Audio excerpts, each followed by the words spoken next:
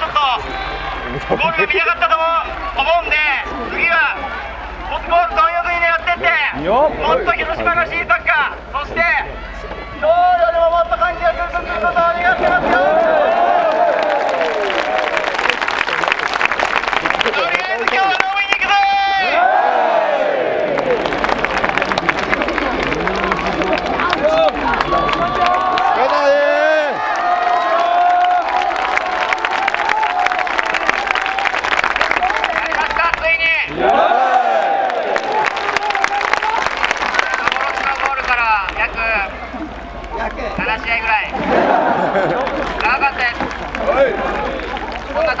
お客さんの中で点決めれて最高です。今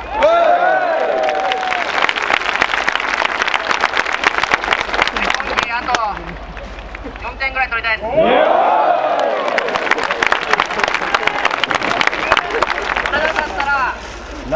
れなかったらなんかする。取れなかったらマスカー猛追してくれます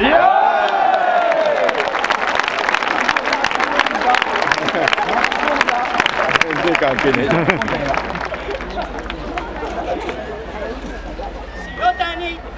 塩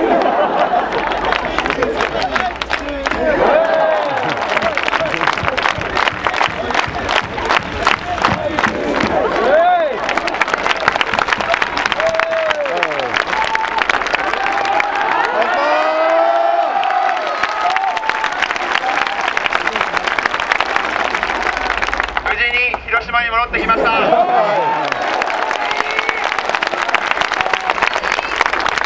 ご心配ありがとうございます。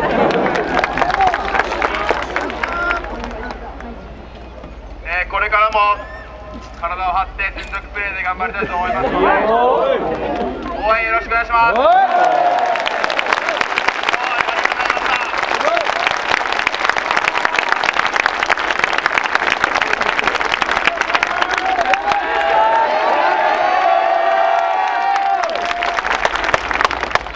今日は僕にとっていろんな思いのある試合でした。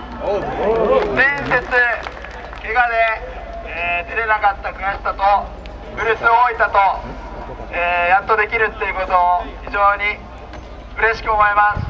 前節松が体を張ってくれた分今日は何としても無失点に抑えたかったです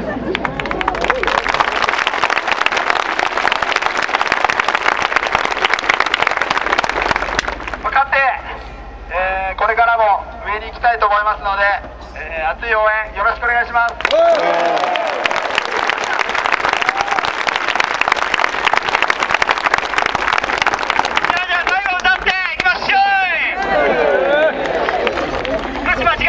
じゃ